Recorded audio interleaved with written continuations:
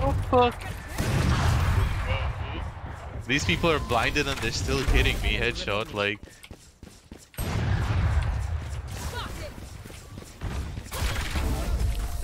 Flushed Okay. him out.